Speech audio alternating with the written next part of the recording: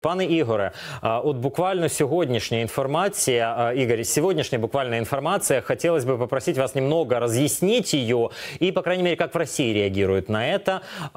У Путина есть не только бронепоезд, об этом говорили, что он все чаще двигается не авиацией, передвигается по России, а на отдельном бронепоезде, но также и секретное несколько, буквально несколько целых э, линий э, железной дороги, секретных, которые приближаются приближены или ведут от одной его резиденции к другой. Что за информация такая, как, если она секретная, это стало известно, с другой стороны, ну и все же, вот как вы реагируете на эту информацию? Вы знаете, на самом деле, вот та э, параллельная жизнь, параллельная система жизнеобеспечения, которая сегодня э, есть у Путина, она складывалась э, довольно давно. Она не является только исключительно э, созданием путинского режима. Э, дело в том, что еще и в советские времена был, например, э, было, например, в Москве так называемое метро-2. То есть это метро более глубокого заложения, которое располагалось э, под московским метрополитеном. И значит, линии этого метро, они вели далеко-далеко за пределы Москвы и Московской области. Э, это все на случай, так сказать, там, атомной войны, на случай необходимости быстрой эвакуации э, руководителей. То есть э, советские вожди, еще советские вожди, они, в общем, создавали параллельную структуру, параллельные медицинские учреждения, параллельные, так сказать, системы жизнеобеспечения. И в частности, вот такие транспортные, транспортные пути были отдельные. То есть, на самом деле, делалось все для того, чтобы Э, жизнь э, вот этой вот верхушки, э, еще советской, и жизнь обычных граждан советских, она никак не пересекалась. Путинский режим еще больше увеличил этот отрыв, и мы видели, что действительно гигантская охрана, э, вот эти вот бронепоезда. На самом деле бронепоезда для э, высших руководителей, они были еще в советский период э, существовали, так что здесь мало что нового. Ну и я еще раз говорю, вот метро-2 это как раз та самая секретная железная дорога. Я не знаю насчет секретной железной дороги наземной. Честно говоря, я с трудом представляю себе, как можно как можно построить секретную наземную железную как дорогу. Как можно это удержать в тайне, да? Да, если она наземная, то как ее сделать так, чтобы ее было не видно? Это, этого я просто не знаю. Может быть, это есть, э, может, это существует, но я про это не знаю. Что касается метро-2, то я знаю об этом не понаслышке, поскольку я несколько лет проработал в московском метрополитене, и э, сталкивался в том числе в отдельных случаях, так сказать, мы как-то пересекались, когда там, э, значит, работали с артезианскими скважинами, угу. то вдруг неожиданно выяснялось, что там откуда-то снизу, глубоко снизу начинают стучать. Вот, и, э, Вам так сказать... приходилось быть в этих еще более глубоких станциях или тоннелях? Нет, нет. Нет, мне не приходилось бывать, я, э, так сказать, э, никак не соприкасался, просто я сталкивался с тем, что мы, когда э, ремонтировали артезианские скважины, то, значит, uh-huh.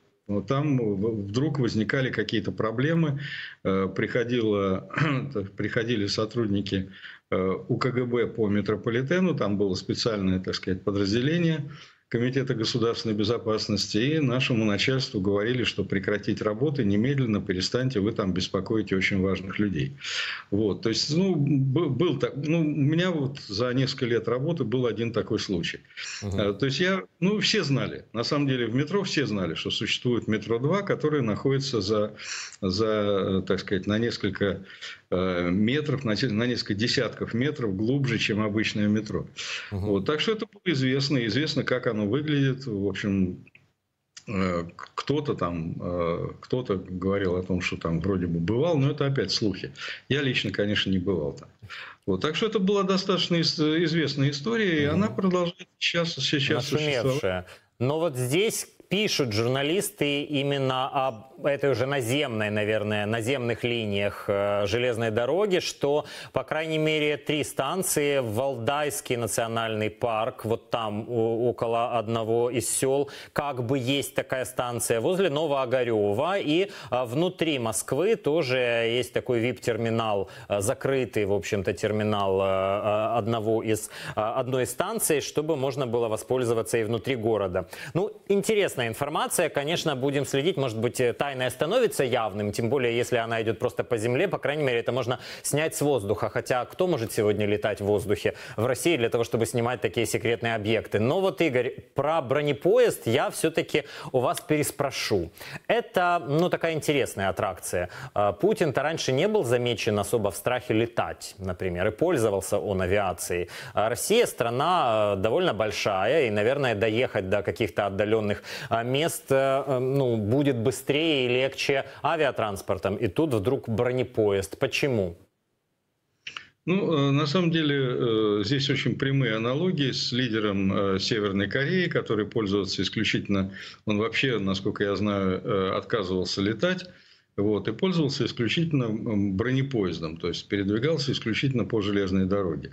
Ну, мне трудно сказать, насколько это безопаснее, потому что, в общем-то, теракт на железной дороге устроить, ну, вряд ли, на, уж так уж намного сложнее, чем в воздухе. То есть, есть и так сказать, диверсанты, есть и возможность разбомбить этот бронепоезд. В общем, довольно заметная цель. Поэтому э, трудно сказать. Ну, видимо, так сказать, какой-то инстинктивный страх у северокорейского лидера перед, перед воздухом.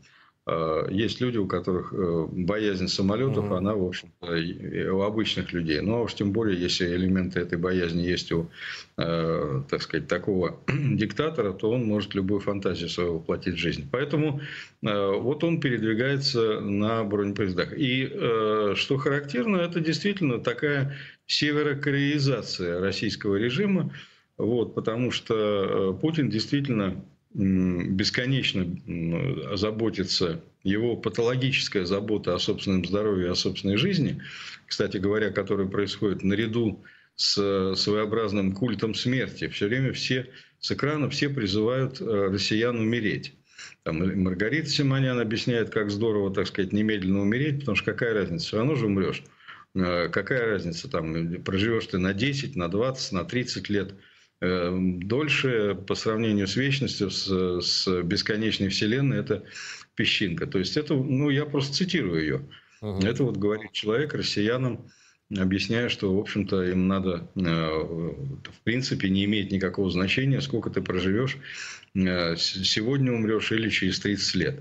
Значит, наряду с... Путин тоже рассказывает о том, как здорово умереть на фронте. Это гораздо лучше, по его мнению, чем умереть от водки или наркотиков. То есть, на самом деле, это, вот этот культ смерти, он сейчас из каждого утюга.